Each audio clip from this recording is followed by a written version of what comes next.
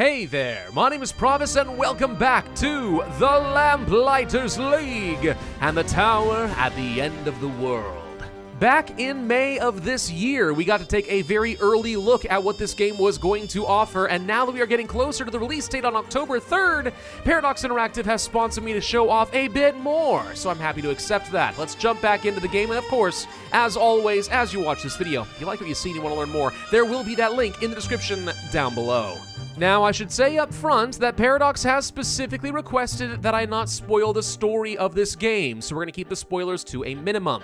Because if you watch the first video, you should know that this is a story-driven turn-based tactical adventure. Spoiling the story takes away half of the fun. And if you somehow missed that first video, well then go back and watch it. Seriously, it gives a really good introduction for what the story is going to look like and how the gameplay is going to pan out. In this video, you're going to be seeing a campaign that is already in progress. We're several missions in, we've already completed all the kind of introductory quests, and now we are getting into the game in earnest. And this here is the Lamplighters League hideout with our current assembly of motley crew and misfits. Some of these agents you're already familiar with, such as Ingrid, Latif, and Eddie. We've also got Celestine over here, an assassin I recently joined into my party. And these four are going out on missions in the world map trying to stop some different factions from reaching a phenomenal treasure that will change the world. I am, of course, talking about the tower at the end of the world. And that's not a spoiler, Paradox. It's in the name of the dang game. I can't tell you what the tower is or why exactly it matters. That's something you'll have to discover for yourself. But here's what you do need to know. There are three other houses in a faction called the Banished Court that are competing to reach the tower before we can. Whoever gets there first will change the world beyond repair. My goal, simply enough, is to use my band of mercenaries to sabotage the efforts of these three houses, at least until we can figure out a way to get to the tower ourselves. And along the way, there are going to be a handful of missions in which we can accomplish that. For example, I could pull up an Operation Silk Shadow theft type of mission. Doing this will gain me some beautiful rewards. It also will set back the efforts of House Marteau. You may have noticed that over there. It had a little white bar and it can go back down to zero. Or House Strum. If we go over here to a more difficult mission, an Operation Scorpion Sting, we can set them back, right? And the goal is to just keep them back down as much as you can. If they ever fill up this bar, they win the game and you lose. The tricky part being, whatever mission I do not complete, then the house is going to gain their respective progress. So we're going to have to take a balancing act between these three, regardless of rewards, just to make sure we do not lose the game. In addition to these major operations, we also have some side expeditions that the odd man out in our crew can go and complete while we're working on our main operation. For example, personnel search. I want to find some additional recruits to add into the Lamplighters League. This is going to cost me a resource called Intel, which you do gather by completing missions. Let's go ahead and assign Celestine. I know you haven't seen her yet, but we'll keep the other three for our next mission, something you're familiar with, and then we'll introduce her a little bit later. Now, while this mission over here is actually more valuable to House Strum than to Marteau, I'm going to go for this easier mission right here, because I see that there is an optional objective which would get me a bonus resource, some Aetherum, which I'll be able to use to craft better weapons for my characters. There's a whole method of progression for your agents. We'll come back to that later, though. Let's go ahead and jump into the game, and you can get a better idea how this works, and then I'll show you the rest. Operation Silk Shadow is underway! Okay, welcome to the game. So, we can move our three characters around. You've seen this from the first video. We can Wait group them here. up, ungroup them, and so on. Everyone has their own special abilities. And those right there are some of the bad guys, people we need to take down. We need to use the environment to our advantage, try to, uh, let's say, set some kerosene drums on fire, or launch explosives, or sneak attack and stealth kill some of these targets. But if it all comes down to it, we'll just get into a good old-fashioned brawl. Yeah, okay. Looks like there's actually quite a few enemies here. And did I just see a walking skeleton over there? I'm pretty sure I just saw a walking skeleton. Well, that doesn't seem natural. Oh, yep, sure enough. Okay, it's not exactly a skeleton. It's a Lacunar Thrall. Oh, goody, goody, goody, goody. Supernatural monsters. Mm-hmm.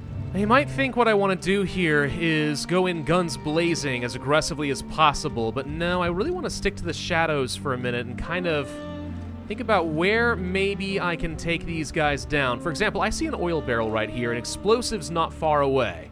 That makes me think I should try to create a big oil spill here, lure enemies over to this region, then set it on fire by blowing up this area.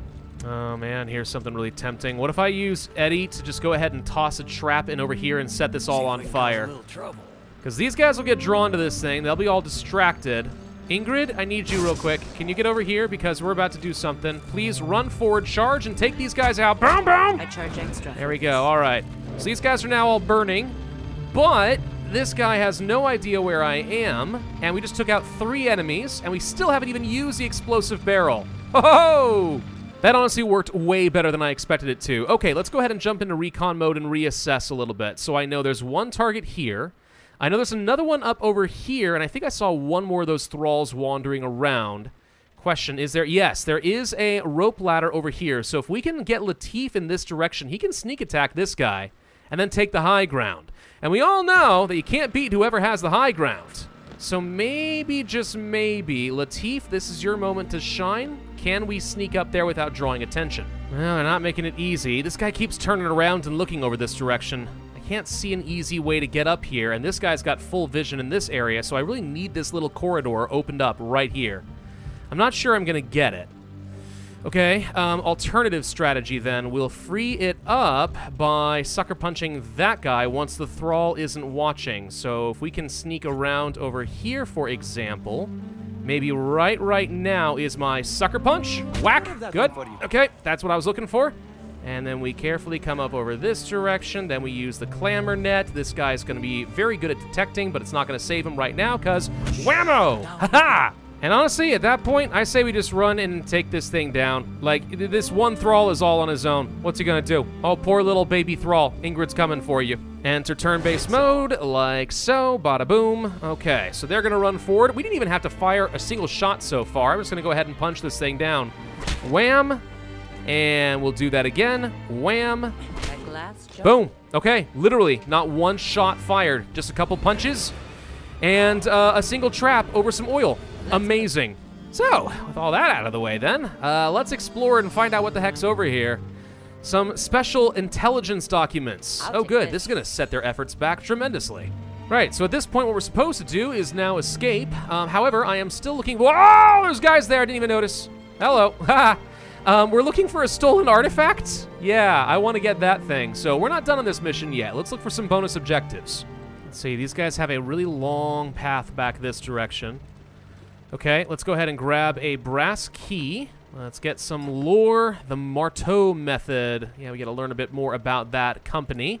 Let's grab something here called the Second Wind, which refills all my stealth attacks, which is great. And then I'm going to see if I can get in here and find a different position or scout at least a little bit. Let's just kind of get behind enemy lines. All right, there's a whole second stronghold we've got to deal with over here. Oh, boy. All right. Well, Latif, you stay put and scout these guys for a little bit while I find another way in for everyone else. Oh, wait a minute. Wait a minute. I just noticed something. Hold on. There's a gap in the wall right here. It's very easy to miss, but there's a gap. Hold on. That means we have a back door in. I can get up onto this tower and take out the sentry. Ooh. Yes, that might actually change a few things. Hold the phone. All right, Ingrid, I need you to move forward a little bit, get in position. Eddie, stay where you are. Uh, Latif, let's go ahead and run you in now. We're going to climb up this ladder.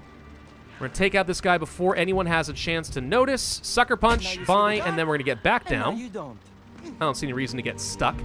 And then we're going to run you over here.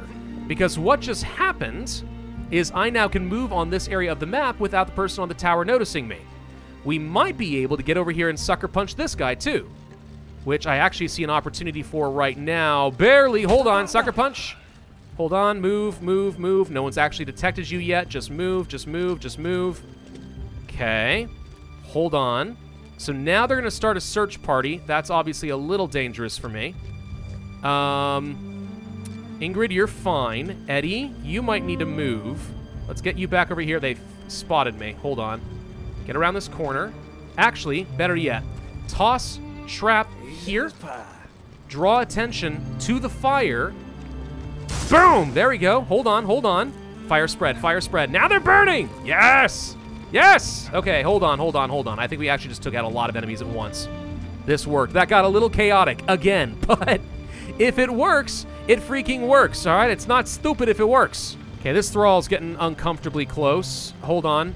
And this guy's getting uncomfortably close. Hold on. See if you can sucker punch this guy. I would like to. I think I can. Hit him? Boom. There we go. All right, that leaves Thrall? One Thrall? Is that all that's left? Nope, there's two Thralls. Three Thralls. Doesn't matter. Kill him. Four Thralls. All right, fine, whatever. Um, hit this guy once. Hit this guy. Boom, boom. All right, missed. Wow, with a 90% chance to hit and you missed? Downright disgraceful, Eddie. All right, uh, that's fine. Move Ingrid up into the fray. Thralls are stupid, so I can't imagine it's going to be very difficult for me to take these guys out. We'll go ahead and move forward with Latif. That gets me one evasion counter. Then we'll use running shot to do, hopefully, a lot of damage. Never mind, it's a 20% chance to hit. Uh, that's not very good. Tell you what, set up Overwatch. If the Thralls wander over that direction, they're going to get shot at, which is about to happen. Boom. There we go. All right, 44 damage is pretty decent. And you're also running forward, but we don't get extra Overwatch charges. You're now burning because you're exactly as stupid as I said you were. Let's focus your fire on the target you're most likely to actually hit. This guy's now marked, which means we do extra damage with range attacks. You need to reload, unfortunately. Ingrid, I don't really feel like there's a lot you're going to be able to do here, so just run into some cover, but don't do anything else. Take an evasion token for yourself. Latif, let's go ahead and shoot this guy. Wow, really? 85% chance? All right, you want to try that one again? There we go. All right. And we'll give the Thrall one last chance to run away. He's stupid and didn't run away. Uh, Eddie, would you like to do the honors? Go ahead and just shoot him. Boom. Thank you. Area clear. Nice! Hey, that actually worked. And it goes to show that if you actually explore the map and look for other ways to deal with the problem, like finding a back door, then you actually can have some great success. Beautiful. All right, I think this is the artifact that I'm looking for. Let's pick this sucker up. A stolen artifact. We'll all steal it right back. Yoink! Ooh, also, there are some supplies and stuff on the map. You can find supplies or intel or other resources that you can use for crafting back at the main base, uh, or currencies of some sort. So it's always worth trying to explore the map when you've cleared out an area. See if there's anything you missed. Looks like the way out is going to be through this heavy door. We already have the brass key, so that's easy. And there is a second wind here. That makes me feel like we're about to walk into a fight. Oh, good. Oh, there's a third encounter on this map. Oh, goody, goody, goody. Okay, hang on. Um, I've used up all my special abilities. Ingrid, I think I will try giving it to you. Because there's this sentry guy right here. Which means I'm not going to be able to sneak by and hit anybody from behind. I think my only hope is one really, really good charge. So let's just go ahead and get everyone into a better position. Well, this is what I'm talking about. When there's this many guys together like this, I mean, maybe we can do something cool with Ingrid. Hang on. And hang on. We want to do this attack. Uh, I can only hit three things. Tell you what, hit these three. Boom, boom, and boom. Well, And then enter turn-based mode. And there are five enemies. Reinforcements! The Banished Court has called for reinforcements. Keep an eye out for troop transport. Special technology lets move troops across the wor world. They have teleporters! Oh, good! Good, good, good, good, good. Teleporters, that definitely is fair. All right, all right, all right, all right. So I still have two action points. I should be able to do some good stuff here. Let's think about how I want to do this. Um, Eddie, first off, if you want to do this attack right here, we should be able to knock down and do a lot of damage to a bunch of folks. So let's just go ahead and lay down some That serious was firepower. Okay, they're also marked, which makes it easier to deal with them anyway. Uh, we can then do light them up, which can hit up to four targets, and also knock them out of cover, which makes it even easier for Latif to then follow up with some hits. Hold on. Can you take out this big guy here? I'm making this look too easy. And then, hold on, what about Ingrid? Can you take any of these guys out in two hits? No. All right, so the next thing to do then, Latif. Can you hit one of these guys, like this one right here? That's fine. Boom. All right. So Ingrid then can run forward, punch this guy. Boom. Then get an action point back, run forward. Um, I was hoping. No, wait. Ah. I regret that it came to this. Okay, I was hoping I'd be able to run forward and hit you. I still can. Hold on. Wham. Good. All right, and then we have one more action point. We can run forward and take you down. That leaves one enemy left. Oh, there we go. Hold on. That actually worked. We used their respective abilities. to really lay down some serious covering fire and set up for everyone else to do some great damage. All right, the teleporter's almost done. I don't know how we shut that down. If we shut that down, maybe just by defeating all enemies, it's over. Doesn't look like it's over. Maybe we can just go ahead and run forward into some cover or something and get ready to deal with them. I don't know how many turns it's going to be before they arrive. But I guess we need to get up over here and be ready to deal with them, huh? Okay, looks like next turn they're going to arrive. Now we can try running forward over here, I guess. And then, yeah, we'll set up some Overwatch in the same approximate area. So depending on where they go, they'll take a lot of damage. All right, so they're alerted, and they did absolutely nothing. The Overwatch was pointless. Well, thanks for that. All right, let's knock you out of cover, knock you out of cover. Ingrid, can you run forward and kill this person? The answer is yes. Bam. Than falling in love. And then we will do the same stuff over here we usually do. Take you down. Before I actually do my last action point with Ingrid on Latif, let's see if we can take a shot at you. Nope, never mind. Hang on. Let's try moving forward. Get a little bit closer in range, then take a shot at you. Ah, okay. There we go. That worked, sort of. It's not what I expected, but it worked. And then let's get Ingrid back into some cover over here, because this guy's going to come charging after us. I think we might be far enough away he can't do anything. Not so fast. Nope, he can. All right, he's going to take a shot at me. That's fine, it's fine, it's fine. Ingrid can handle it. She's tough, all right? She's really tough. Would you mind finishing him off?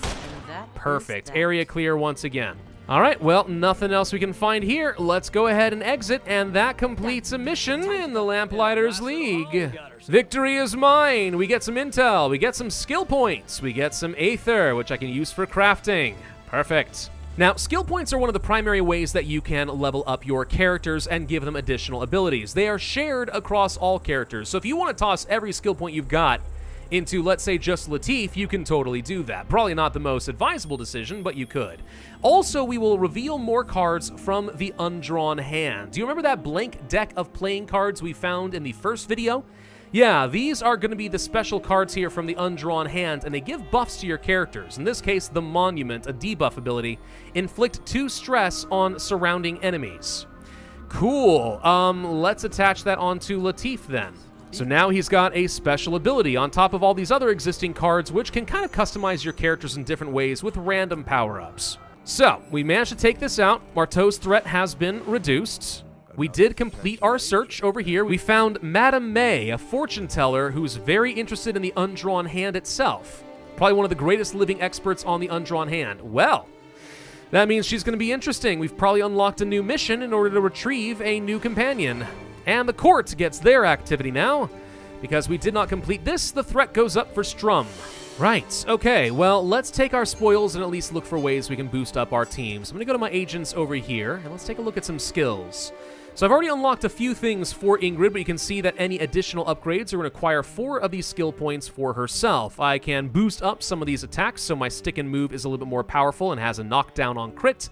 I can make it so that she takes additional stress before she cracks under the pressure. I can make her killer instinct even better so it can activate three times in a round instead of only twice, right? Lots of ways you can upgrade her character that way. Same thing is true here with Latif, same thing is true with Eddie, same thing is true with Celestine, who you have not seen yet. I'm going to boost up Latif's running shot ability and save two points for myself. Okay, with that taken care of, let's, take a look at our allies. So this guy right over here is able to start crafting some additional weapons or equipment for my characters using the Aether that I found earlier. So let's see, a Vitality Engine. Upon using a buff, we get an extra action point. Okay, consumables, that could be useful. Melee attacks gain a 33% chance to reduce cooldowns. That could definitely be very useful for someone like Ingrid and Celestine. All right, and then there's also hidden compartments increase the number of consumables they can equip. Sure, I'm going to go ahead and craft one of those. And then we also have Transmutive Tempering. Melee attacks that are critical hits will shred 5 armor. Interesting. Let's go ahead and take the hidden compartments, get that unlocked. Then we're going to go to our supplier over here where we can actually buy a lot of those consumables. Or, in some cases, we can spend our supplies to, let's say, buy some armor. Or maybe buy a weapons mod that will boost up one of our characters. Actually, I think it wouldn't be a bad idea to go ahead and buy one of those weapons mods. Then we'll pop back over here. I'm going to go to, uh, let's say, Latif. And let's go ahead and give him a 10% extra chance to hit with his gun. And then Ingrid, can I give you the weapon? Yes, I can. You're going to go ahead and wear that and get some extra chance of reducing your cooldown on melee attacks. And this is where we jump back over to the world map, where you can see that all three factions are now making their move. The question is, which missions do we need to take down in order to prevent anyone from getting too powerful? Maybe we've got time for one more over here. There's a few different missions that could work here. Do I want to keep Marteau down? Do I want to strike Weakening Strum? Or would I rather Nicastro not gain any particular power?